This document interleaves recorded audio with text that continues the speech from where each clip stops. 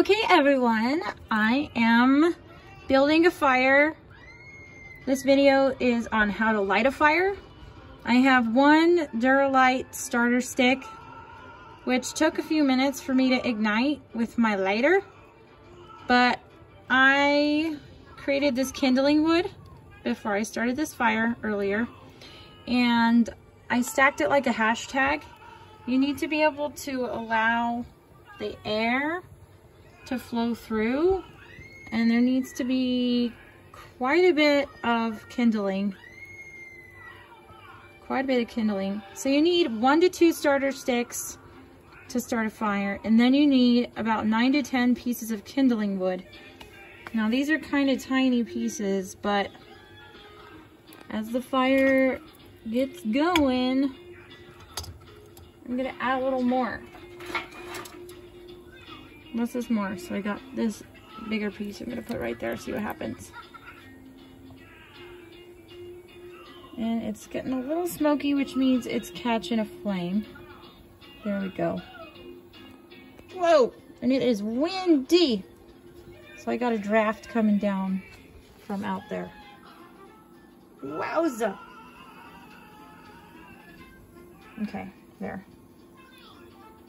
We got a storm rolling in, sorry we got a storm rolling in and energy is expensive. So this is like the best way to heat the house if I can. But here the kindling wood is catching fire. That's good.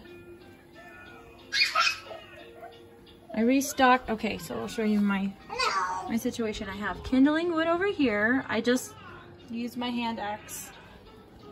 And then I brought in a pile of almond wood which a lot of it is not split and I have one of my logs in there. I should have an, a split log which will probably burn easier like this because it catches flame on the, the splintering area. Don't do this at home guys unless you have a grown-up. So you get your wood. I just brought it this was already in here from earlier today, this log. And the key is to get your kindling fire going for a while. It's taken me a while to figure out how to light a really good fire, okay? So see how the wood is like about almost halfway burned through.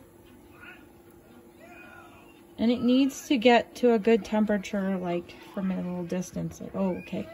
And I, I could have taken that log out and picked a better one. But I'm going to stick with it. Maybe add a smaller log right out here in front.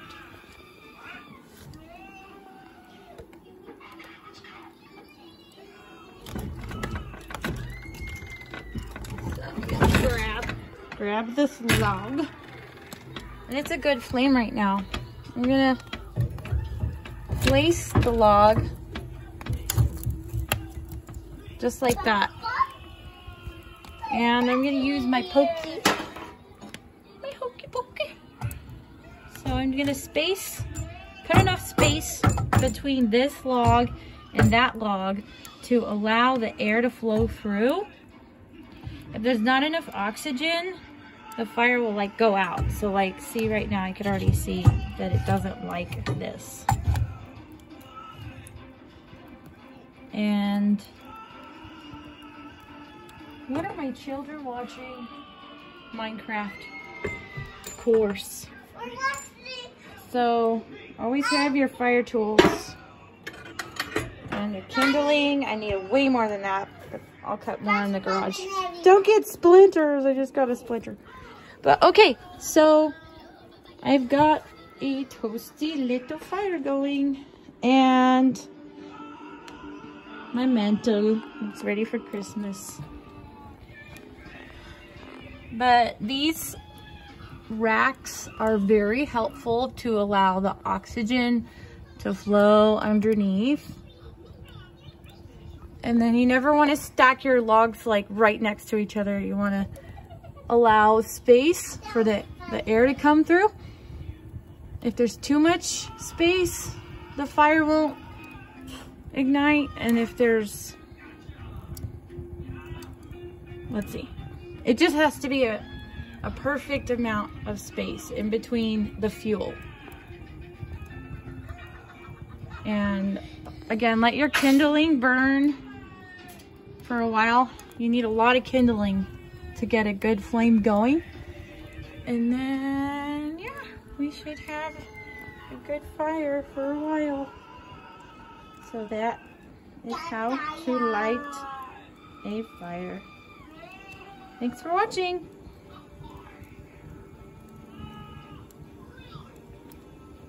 It's just mesmerizing.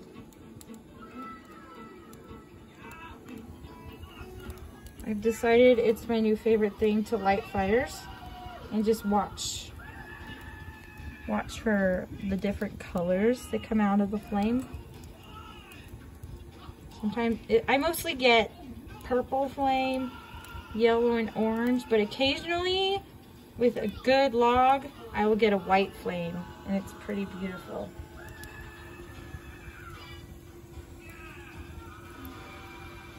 It's very meditative and spiritual for me to light a fire too. Sometimes I'll just light my log, I'll start my fire, and then I'll just, I don't know, just uh,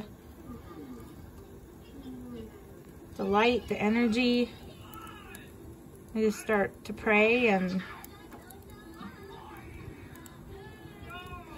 oh, very healing. If you ever get the chance to learn how to light a fire in a fireplace, do so carefully. Rude.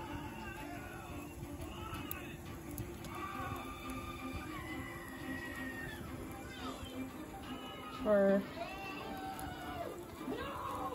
your log cabin experience, or maybe you're camping, or maybe you're just like, I want to get a fire pit and try this out.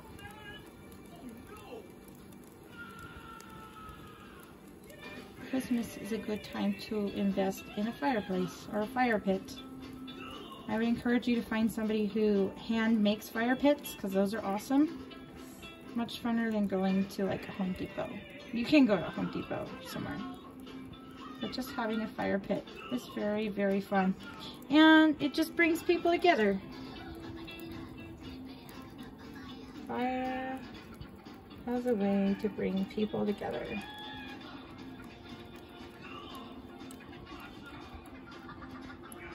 good night, everyone.